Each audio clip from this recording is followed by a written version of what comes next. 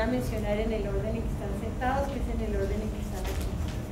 Eh, el, profesor Martín Acosta de la Universidad Distrital, Francisco José Caldas, el profesor eh, Alexander Cardona de la Universidad eh, de los Andes, el profesor Jorge Fiallo de la Universidad Industrial de Santander, el profesor Raúl Chaparro de la Escuela Colombiana de Ingeniería, Julio Garavito.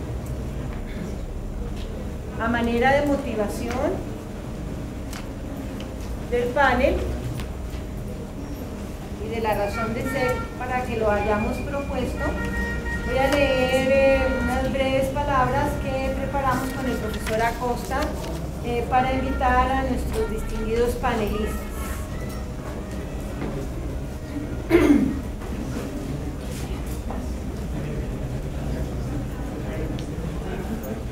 Más allá, más allá de los resultados poco favorables obtenidos por los estudiantes colombianos en las, en las evaluaciones externas en matemáticas, parece ser que la enseñanza actual no está dando los resultados esperados. Los niños y jóvenes no se sienten atraídos por las matemáticas, no le ven utilidad y no sienten que puedan hacer parte de, que estas puedan hacer parte de su quehacer. En particular, la enseñanza de la geometría aparentemente está vacunando a los niños y jóvenes contra la racionalidad de las matemáticas.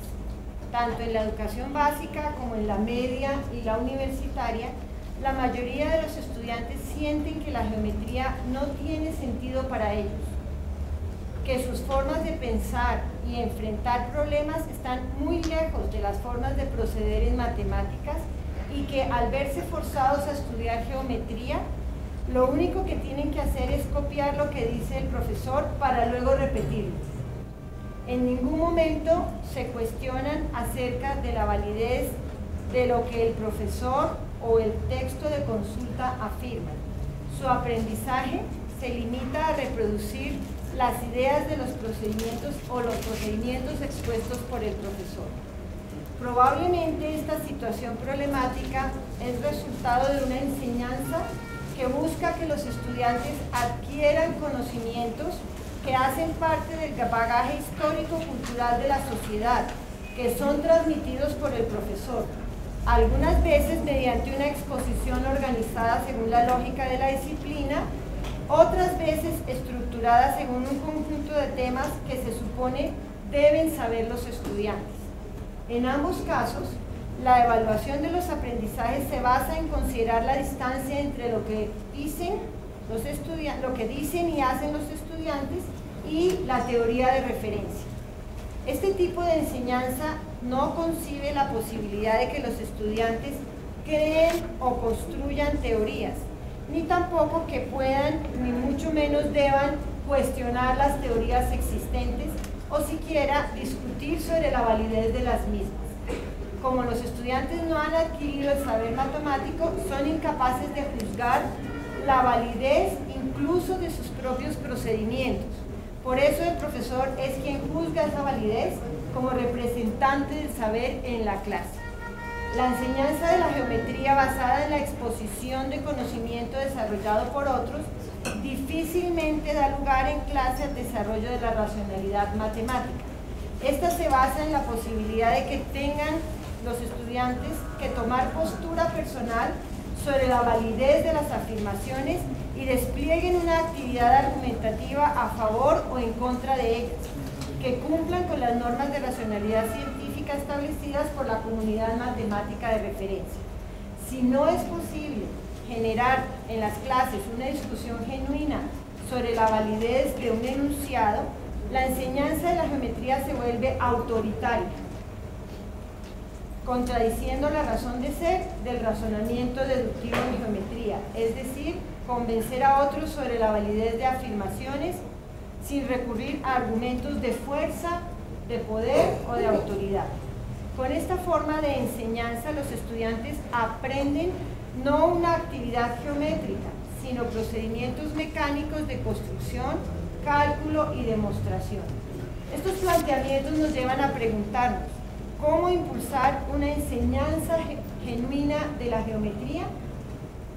Y con esta, estas ideas un poco provocadoras, invitamos a nuestros eh, panelistas que eh, provienen de campos profesionales eh, tanto diversos y que desde su óptica y desde su desarrollo profesional van a, intentar dar una respuesta a esa pregunta.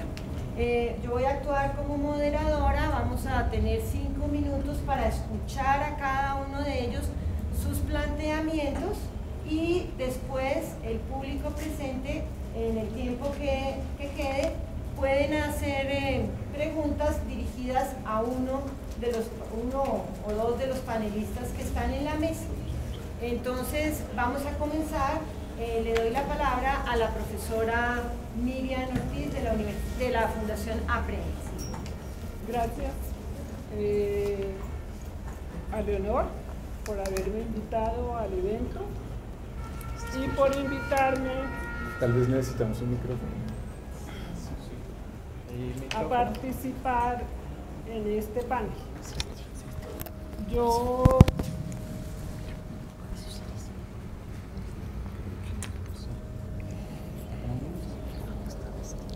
Yo voy a. Así, aprendido. Yo voy a. para el segundo piso. Ah, no sirve sin Para el primero no hay. Pero ya le. se oye su voz. se oye, pero porque hablé por este. Sí, sí, sí. Bueno. Eh, hace rato no ejerzo la función de expositora y entonces mi tono de voz no es, no es muy alto, pero voy a intentar. Eh, quiero leer las reflexiones que he escrito, que todas son afirmaciones, afirmaciones que hago después de un periodo de estudio y reflexión sobre el problema de la enseñanza y que por supuesto están para discusión, pero son nuestras elaboraciones. Eh, Nosotros pensamos que ese es un problema no solo de la geometría, sino de las matemáticas escolares.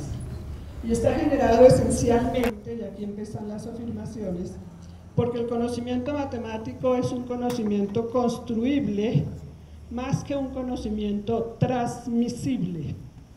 Ha sido producto de la creación humana. Hace años nos dimos cuenta de esta situación. La transmisión no genera aprendizaje, a lo más información. Y entonces centramos nuestros esfuerzos en generar condiciones que posibilitaran el aprendizaje de las matemáticas escolares a través de procesos de construcción. Y estoy hablando de por allá 1994. Incluso antes, por allá en el 80 y algo. Apoyados en la epistemología genética, nos centramos en el problema del aprendizaje y no nos hemos centrado y no hemos buscado mejorar la enseñanza.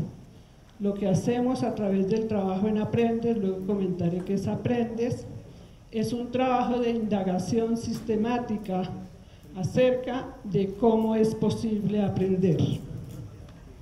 Iniciamos aprendiendo nosotros y por fortuna esta es una tarea que no hemos agotado seguimos aprendiendo. Trabajamos con niños, jóvenes y maestros de diferentes entornos, indagando y verificando cómo se aprende. Cuatro elementos esenciales de la epistemología genética, quiero comentarlos muy rápidamente. De acuerdo con Piaget, se aprende a través de la acción y nosotros le agregamos de la acción intencionada. Aprendizaje y desarrollo del pensamiento son una unidad dialéctica inseparable, entendida como que cada aprendizaje requiere y posibilita un determinado desarrollo de pensamiento.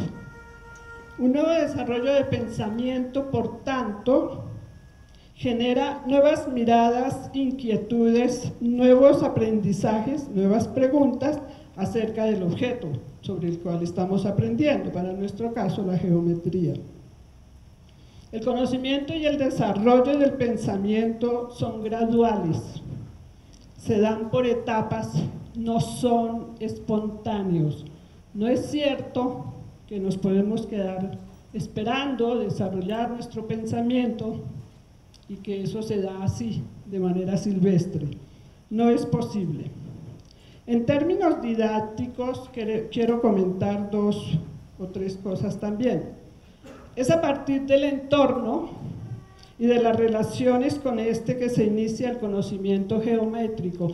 Esta afirmación la basamos en el hecho de que en la epistemología genética se asume que el conocimiento tiene un punto de partida, que hay momentos y circunstancias especiales y han habido en la historia momentos y circunstancias especiales que generan procesos de aprendizaje, que generan procesos de conocimiento. Nosotros afirmamos que el conocimiento geométrico, y voy a hablar de la geometría escolar, el conocimiento geométrico se inicia en la interrelación con el entorno, en el conocimiento y manejo del entorno y en la diferenciación y el establecimiento de relaciones con ese entorno el entorno o el territorio o el espacio vital para nosotros es más o menos lo mismo.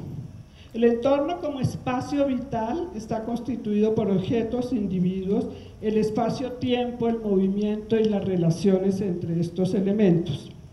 Teniendo en cuenta las posibles etapas de desarrollo del pensamiento de los individuos y la complejidad lógica de la geometría, y la complejidad lógica de la geometría escolar, nosotros hemos organizado el conocimiento geométrico en tres niveles.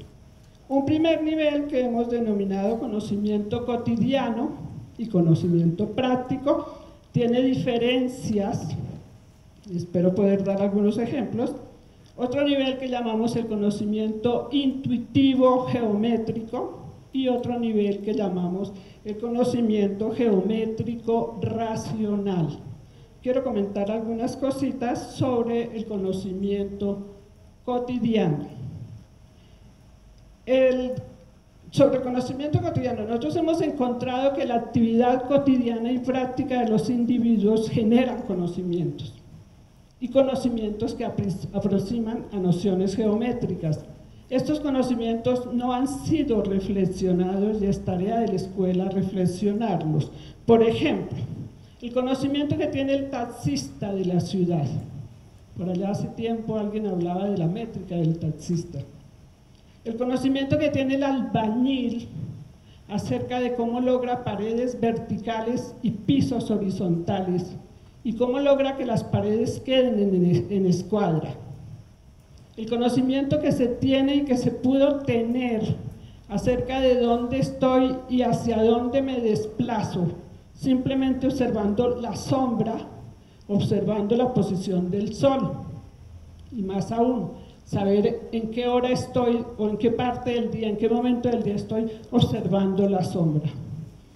Estos y otros elementos, muchos más de reflexión, son los que han suscitado para nosotros el trabajo con estos tres niveles de aprendizaje de la geometría escolar. Sobre eso puedo ampliar muchísimo.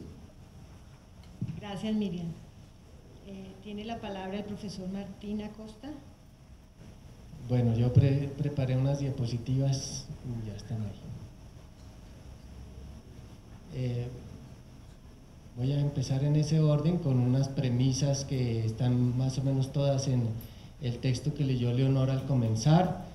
Eh, esta primera, pues creo que todos estaríamos de acuerdo, no sé, de que la racionalidad científica, la racionalidad matemática tienen sus raíces en los elementos de Euclides.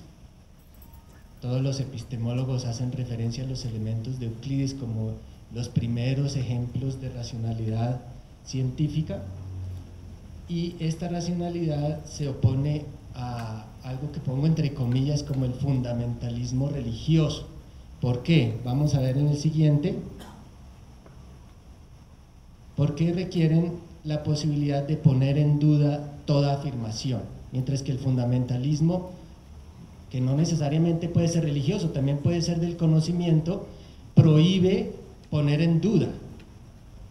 Y la segunda característica es que la validez no puede depender ni de la autoridad, ni del poder, ni de la fuerza, sino precisamente de la racionalidad de los argumentos. Seguimos a la siguiente. Entonces surgen las preguntas de si es posible desarrollar una racionalidad científica o matemática en clase de geometría que se descompone en otras preguntas, si es posible propiciar y si es conveniente propiciar la duda sobre las afirmaciones teóricas y si es posible y conveniente desarrollar formas de discusión sobre la validez que no se basen en la autoridad, ni la fuerza, ni el poder. Esas eran las preguntas del panel, digámoslo así. Y yo señalo algo que llamo la paradoja de la enseñanza, que es la siguiente. En clase normalmente la validación de afirmaciones teóricas depende de la teoría, pero resulta que la teoría no la tienen los estudiantes.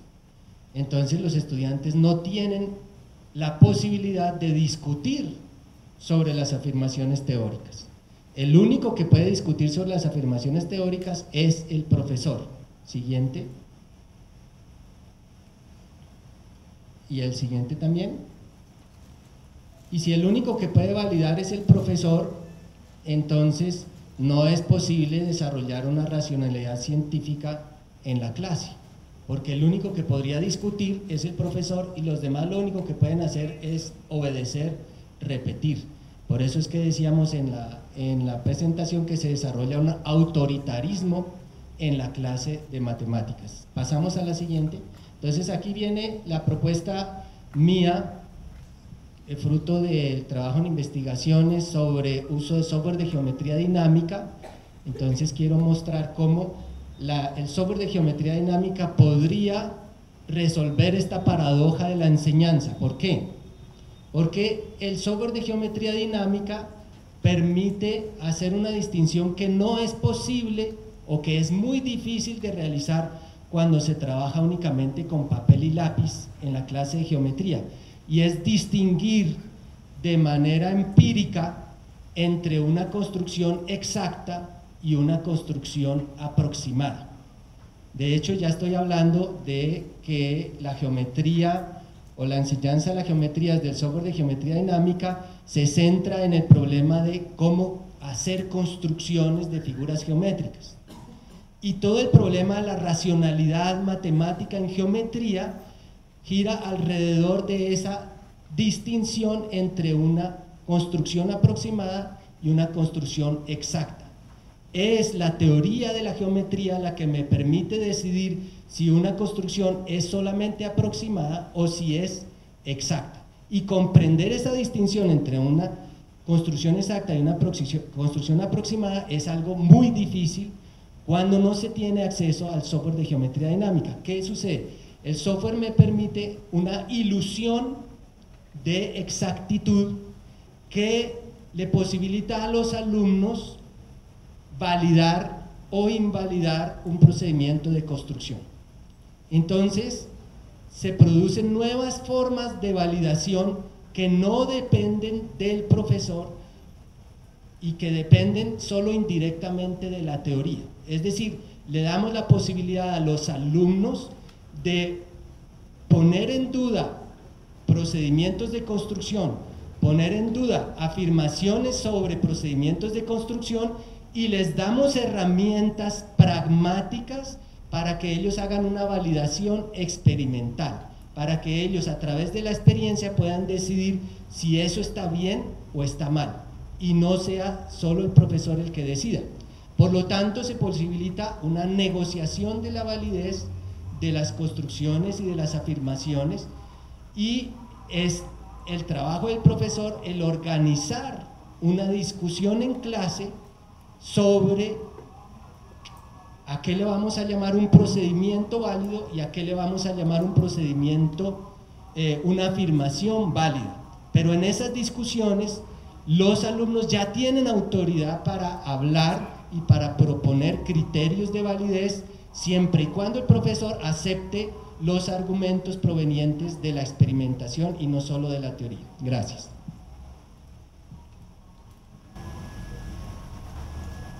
Gracias. Le damos la palabra al profesor Alexander Cardona de la Universidad de los Andes, egresado de nuestra universidad. Muchas gracias. Eh, Entonces yo soy, yo voy a hablar aquí como soy un poco el, el extraño del grupo porque yo soy un usuario de la geometría, ¿no? un, un, profesor, es un profesional en la enseñanza. Eh, por supuesto que enseño geometría y hago desde mi punto de vista de usuario de la geometría. Entonces, lo que voy a hacer es muy sencillo, les voy a decir por qué razones yo enseño geometría y después yo voy a dar una opinión sobre en general el contexto en el que estamos discutiendo. Entonces, para mí la geometría brinda a cualquier persona, cualquier ciudadano, cualquier persona tiene, gracias a la geometría, una comprensión espacial fundamental, sobre todo en una época en la que todo, todo se fabrica alrededor de la imagen. Y eso es una primera herramienta que uno tiene que usar para motivar la enseñanza. Todo nuestro mundo se está construyendo alrededor de, de imágenes y la imagen, matemáticamente hablando, la describe eh, la geometría. Segundo, brinda múltiples puntos de vista sobre la forma en el que un razonamiento es usado en matemáticas. Tiene un, un lado estructural muy importante que desafortunadamente, y ahora tal vez comente un poco más al respecto, se exagera, me parece. Nosotros podemos usar la geometría como un marco de trabajo en el que un matemático o una persona, así no sea matemática, entiende el aspecto estructural de las matemáticas, cómo se construye, cómo se demuestra, cómo se fabrica matemáticas. Tercero, la geometría es un área en la que se trabaja con objetos concretos, pertinentes y útiles. Y eso tiene sobre todo una eh, particularidad y es que uno puede aprender estos objetos desde muy corta edad. Y eso es algo que hay que explotar cuando uno quiere enseñar geometría. Tiene aspectos además estéticos y culturales raros en otras áreas. Uno puede hablar de geometría a estudiantes de arquitectura o a estudiantes de, de sistemas, hablando de configuración de redes. En cualquier área uno es pertinente geométricamente hablando.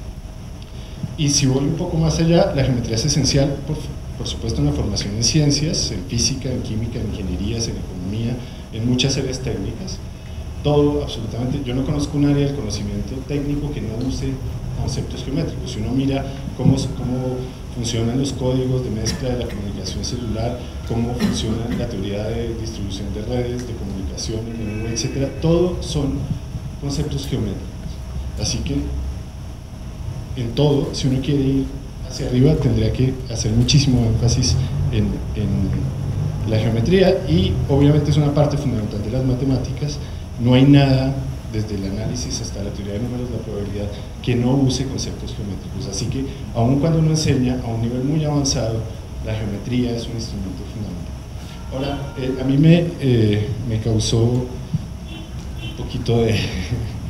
fue muy provocador, digamos, la, propuesta eh, que nos hicieron porque incluía la palabra genuino. Y yo me pregunto qué quiere decir enseñanza genuina, qué es lo genuino. Entonces yo me puse a pensar, ¿será? Estoy pensando en el contexto colombiano, o estoy pensando en, en, en algún tipo de, de, de sí, de, de, enseñanza particular, primaria, básica, universitaria.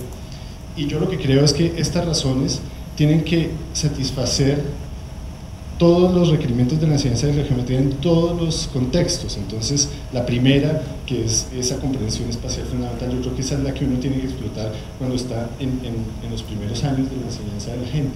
Y a medida que va evolucionando, eh, la geometría tiene que aparecer a lo largo de la enseñanza, yo creo, de las matemáticas hasta el más alto nivel, porque hasta ahí va a ser importante. Lo que hay que saber es dónde pongo cada énfasis cada vez. Por ejemplo, yo creo que yo, yo, fui estudiante de geometría aquí, de Arturo Camargo, que era tu papá, ¿sí? y yo era lo suficientemente maduro para entender qué quería decir demostrar algo. Pero si yo hubiera tenido esa clase tan buena, en el colegio no lo hubiera podido apreciar. No tenía el contexto en el que, en el que ese tipo de cosas se aprecian. Yo creo que hay que saber en qué momento se hace el énfasis en cada uno de estos puntos de vista y eso es lo único que puede dar un sentido a la palabra genuino si uno la conjuga con qué es lo que estoy pretendiendo. ¿Estoy enseñándole a niños de un jardín o estoy enseñándole a ingenieros de sistemas? No es exactamente lo mismo. Y eso, eh, ese es mi punto de vista de utilizador de la geometría en general. Muchas gracias.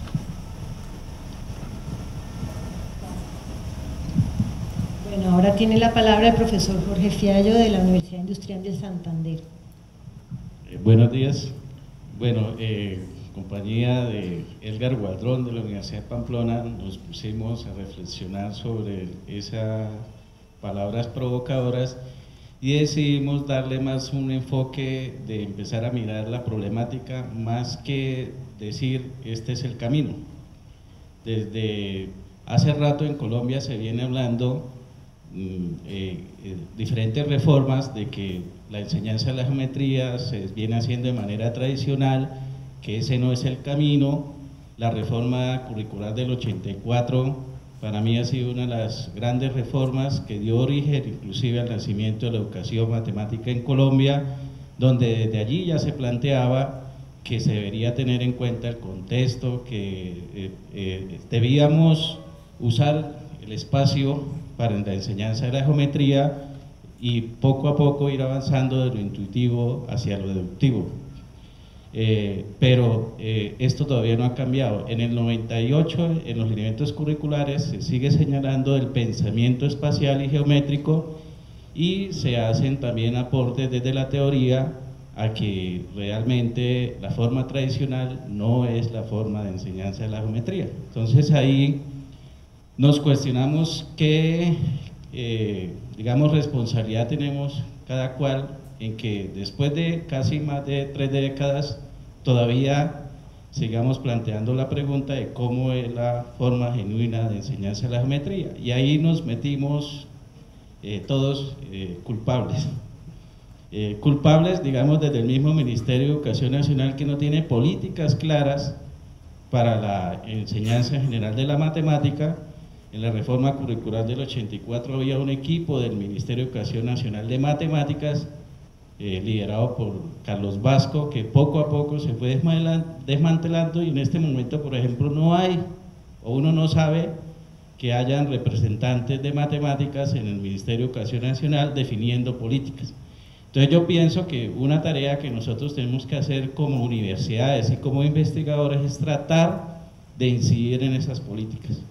O sea, si definitivamente desde el mismo Ministerio de Educación Nacional no se tienen políticas claras, todos estos esfuerzos eh, se quedan entre nosotros.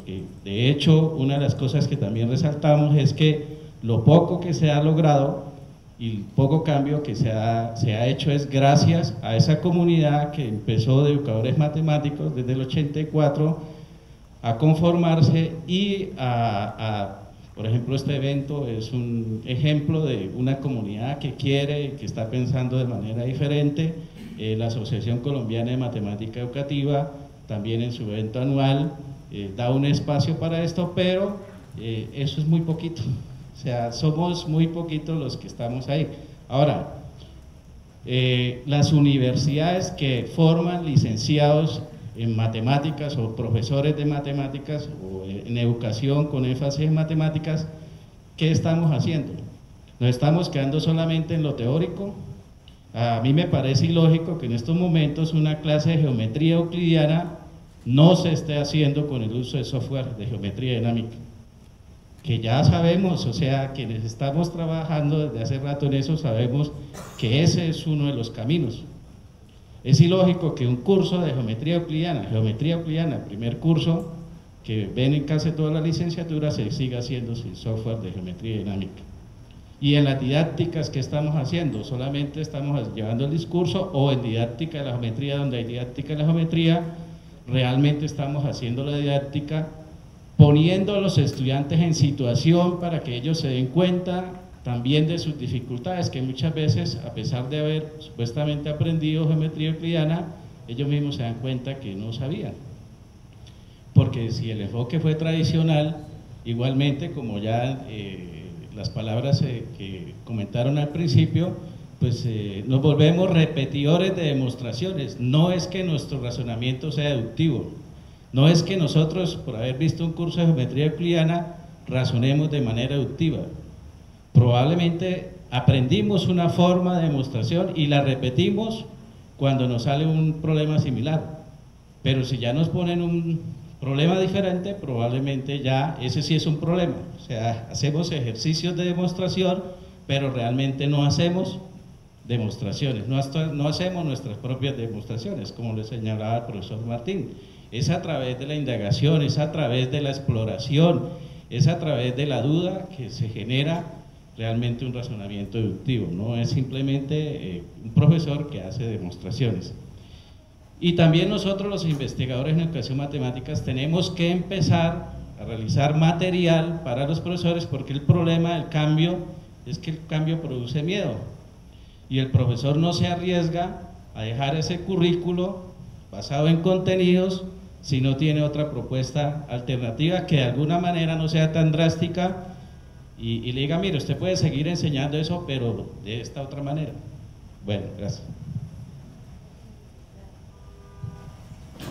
Y le damos la palabra al profesor Raúl Chaparro de la Escuela Colombiana de Ingeniería, también egresado de nuestra universidad.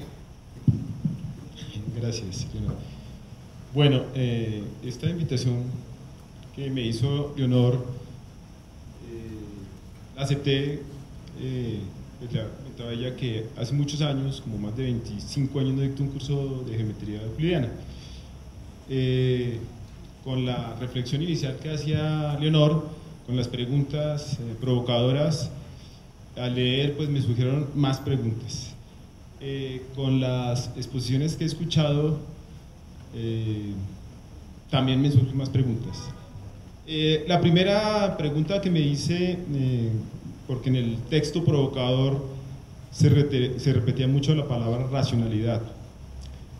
la primera pregunta que me dice, ¿será que la única manera de acercar a un estudiante a la racionalidad al pensamiento deductivo es la geometría y si, es, eh, y si realmente con la geometría se puede hacer esta clase de cosas. Y revisando un poco eh, la historia de, de la matemática, eh, pues encontré algunas reflexiones de, de algunos sabios que quiero pues, compartir acá. Y también, eh, mirando un poco lo que nos decía Martín, eh, también se reflexiona un poco sobre la racionalidad científica. Entonces, una primera, en un libro de, de, de, axiomática, en su libro de axiomática, Robert Blanchet comenta, dice, hablando en el contexto de la geometría euclidiana, dice, ahí el papel pedagógico privilegiado que desde entonces no ha dejado de, reconocerse. Si eh, si se le hace estudiar a los niños, es menos para enseñar algunas verdades que para disciplinar el espíritu, considerando que su práctica da y desarrolla el hábito riguroso. Y la expresión más geometría ha venido a significar más lógica. En otro libro, eh, León Brunswick, en el libro de las etapas de la filosofía de las matemáticas, nos dice lo siguiente, dice, en la geometría euclidiana, la razón antigua ha modelado en cierto modo el pensamiento moderno de Euclides, algo que nos comentaba eh, Martín, que es, el inicio a la ciencia como tal, ahí la, podemos encontrar en Euclides. Para las numerosas generaciones que se han nutrido de su substancia, ha sido menos quizá un profesor de geometría que un profesor de lógica la forma deductiva de los elementos hace evidente y consagra la universalidad de aplicación de que la lógica de Aristóteles era capaz. En estas dos primeras reflexiones, como que enfatiza en el concepto, ellos dos enfatizan el concepto deductivo, es decir, que realmente eh, más que geometría es enseñanza de lógica. Eh, es decir, que detrás de una demostración eh, geométrica hay una demostración, hay un aparato lógico deductivo. Y esta eh, pregunta, esta reflexión de Leibniz, hablando también en el contexto de la geometría analítica, nos dice, no son las figuras las que dan prueba a, los geometras. La fuerza de la demostración independiente de la figura dibujada, que no se utiliza más que para facilitar la comprensión de lo que se quiere decir y para fijar la atención. Son las proposiciones universales, es decir, las definiciones, los axiomas y los teoremas ya demostrados los que hacen el razonamiento y lo, y lo, contendrán, aun cuando la figura no existiera. En efecto, la lógica es tan susceptible de, eh, de, demostraciones como la geometría, y se puede decir que la lógica de los geometras o la manera de argumentar que Euclides ha explicado y establecido, hablando de las proposiciones, son una extensión o promoción particular de la lógica general. Entonces, eh, aquí con esta primera parte, eh, en la primera reflexión, veo que desde la antigüedad eh, ha sido un presupuesto importante en el desarrollo de las habilidades racionales deductivas, la geometría como primera materia, digamos. Después de la reflexión viene pues, la siguiente pregunta. Pensando un poco sin pues, la exposición de la profesora, la primera que expuso, de la, el trabajo de investigación que se ha hecho sobre la enseñanza específica de la geometría, eh, y pensando un poco en este momento que se escucha hablar de el uso de la tecnología en la, en la enseñanza de la geometría, me surgen varias preguntas. De acuerdo a este contexto que hablamos eh, de estas primeras eh, afirmaciones de estos sabios, eh, en el fondo hay una lógica. Martín nos decía ahora que en la validación hay una primera aproximación y que es esa aproximación de alguna manera le va a permitir al, estudiante validar, ¿cierto? Que lo permite, lo permite el software. Eh, y, en general con la tecnología eh, me han surgido eh, bastantes inquietudes, y más para la enseñanza de la, de, la, geometría. Si vamos a enseñar un método deductivo, uno se pregunta, el profesor Fiallo decía, nosotros les decimos a los estudiantes que cómo es posible enseñar la geometría sin usar eh, la tecnología. Y yo me pregunto cómo es posible enseñar geometría es, eh, eh, usa, la geometría deductiva desde el punto de vista lógico, entonces aparte usando la, la, tecnología. No es porque tenga críticas, sino porque precisamente estoy un poco alejado. Hay un libro también que para la segunda parte, la, la pregunta ya un poco de cómo la tecnología nos va a servir, hay un libro que me hizo pensar sobre esto es de un eh, Nicolás Carr y se llama ¿Qué está haciendo Internet con nuestras mentes? Más o menos el argumento del libro es, este libro explora los efectos que el uso intensivo de las tecnologías de la información tienen en nuestra inteligencia y en la cultura. El principal argumento de Carr es que Internet puede tener efectos perjudiciales en el pensamiento que dañan la capacidad de concentración y contemplación esto provoca un déficit a la capacidad de almacenamiento de hechos en la memoria y en el procesamiento de la información. Para llegar a la conclusión, Carr se basa en la historia de la humanidad, el sentido común, impresiones personales y estudios neurobiológicos y psicológicos. Y para terminar, en la misma idea de, de Carr, quiero leerles, o más bien comentarles, porque no alcanzo a leer, en su libro muestra un argumento de cómo la tecnología ah, nos hace cambiar la forma de pensar. Y la reflexión que hago es, si de pronto la tecnología con el uso de la geometría dinámica nos va, a hacer la, nos va a hacer la forma de pensar en el sentido de que de pronto no pensemos racionalmente, es una duda, no, no tengo argumentos para, sino simplemente es una reflexión. Él cuenta la historia, en, en su libro cuenta la historia de Nietzsche, dice que eh, desde muy joven Nietzsche eh, tenía problemas eh, de la vista, él tenía problemas para escribir, no se podía concentrar porque fijar la vista le producía fuertes dolores de cabeza y vómito. Entonces, después a los 34 años, cuando comienza su etapa productiva, viene la, la pregunta de él, ¿qué va a hacer para poder transmitir y explotar todo su toda su imaginación? Entonces pide algo que no quería una máquina de escribir. Y después de tener la máquina de escribir, él comienza, comienza a escribir, inclusive aprende a escribir tan rápido que puede escribir con los ojos cerrados. Y un amigo de él, un músico, le comenta que, está, que mirando sus obras, su, su, su trabajo, antes de tener la máquina de escribir y después de tener la máquina de escribir, la cosa cambió. Escribe otras cosas, como si fuera otro niche.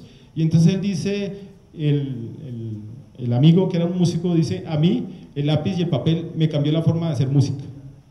Y entonces dice Nietzsche, sí, realmente yo soy otro después de usar la máquina de escribir. Entonces pregunto si, después de usar las geometría, los software de geometría, se, se, se, consigue otra racionalidad o otra cosa. Es una pregunta, porque, pues como les digo, estoy un poco alejado de la geometría, pero tengo mis inquietudes. Muchas gracias.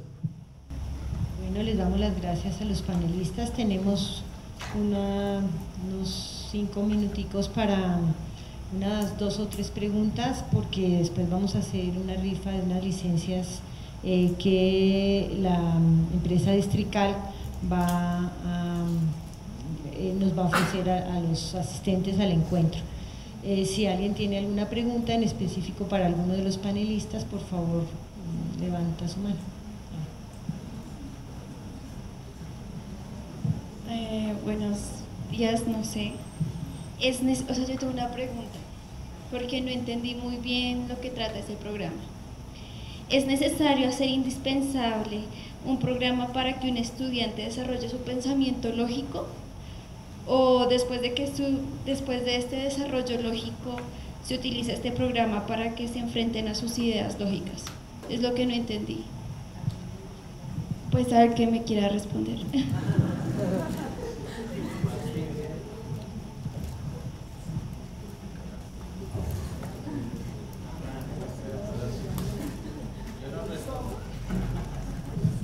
Bueno, ya asumo que está hablando del software de geometría dinámica. Y la propuesta es que se aprenden las dos cosas al tiempo. O sea, a medida que uno aprende a funcionar, a hacer dibujos, digámoslo así, con el software y a distinguir entre lo que es un dibujo exacto y un dibujo aproximado, es decir, un dibujo que resiste el arrastre, que no se deforma al arrastrar, y uno que sí, entonces se va planteando preguntas de cómo lograr que las figuras no pierdan las propiedades durante el arrastre. Y todo eso, ese cuestionamiento sobre cómo lograr eso, es lo que le va ayudando a construir una racionalidad deductiva. O sea, no es que uno aprende primero la lógica para después aprender el software de geometría dinámica, o primero aprende el software de geometría dinámica para después aprender la lógica, sino se aprenden las dos cosas al tiempo. Le quiero hacer una pregunta a Martín eh, con respecto a esto. Eh, cuando la profesora Miriam habló la primera, la, en, la, en, la, primera parte, eh, me pareció muy interesante el hecho de que el estudiante conozca primero el mundo real y luego comience a hacer geometría digamos que así, es, así digamos, pasó en la historia. Los babilónicos comenzaron primero a hacer su parte sin razonar acerca de lo que hacían, sino usaban la geometría. Luego los, los griegos comenzaron a, a pensar acerca de, de, por qué las cosas funcionaban. Y luego los árabes comenzaron a usar la geometría como método de prueba. Entonces, otra etapa más. Entonces la pregunta, la pregunta es esta. Eh, a mí me parece que en la práctica, por ejemplo, un carpintero, me ha pasado algunas veces encontrarme con carpinteros y resulta que a veces usan unos métodos muy interesantes eh, para hacer las cosas.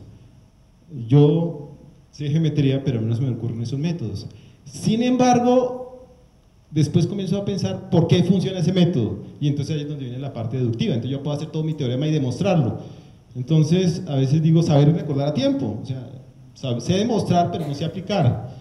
Yo pienso que si se expone al estudiante, digamos en un trabajo de carpintería, y se le puede pedir por qué funcionan las cosas, ahí hay una etapa de racionalidad.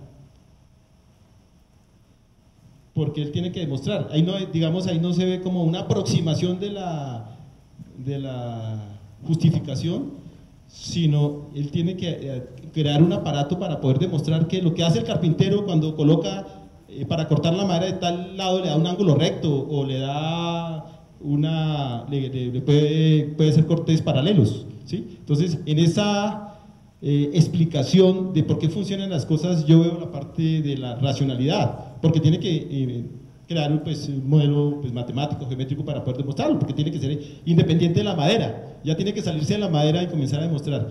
No veo eso, esa, esa, esa pensando en el carpintero, esa, no, no la veo, pues de pronto por ignorancia, eh, sería estudiar más, en el, eh, pero en el caso con GeoGebra, el estudiante se expone esa clase de cosas, de tal manera que él se le pueda justificar para que de pronto se salga del software, porque muchas veces eh, si uno quiere que alguien piense, de pronto es alejarlo del computador y comenzar a pensar por fuera.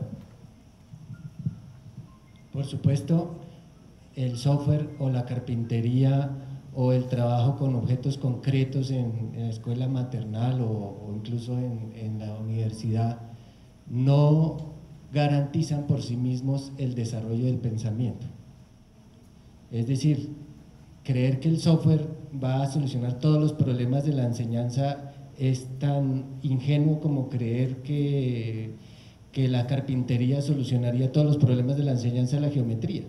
Son herramientas que se le ofrecen al profesor para organizar una determinada actividad. Y es esa actividad la que va a producir o no, o va a acercar o no a los estudiantes a una racionalidad matemática. Por supuesto, eso requiere de mucha investigación en didáctica sobre cómo, qué tipo de actividades organizar y qué tipo de actividades promover y qué tipo de actividades impedir que se desarrollen para que realmente haya un desarrollo de una racionalidad matemática y no simplemente el desarrollo de unas habilidades manuales de manipulación del ratón o unas habilidades de producir unos dibujos muy bonitos, pero sin ningún cuestionamiento matemático sobre las razones de ser de las cosas.